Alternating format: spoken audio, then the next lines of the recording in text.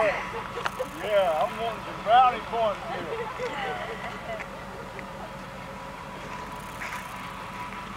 Wow.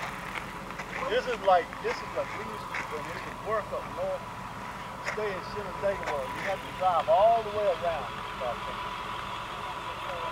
Wonder how many pictures we got. My goodness. I mean, I We bet, have bet I got, I bet I personally got over a thousand pictures. Of that volcano. We stop every trip, every day. We bring every group here.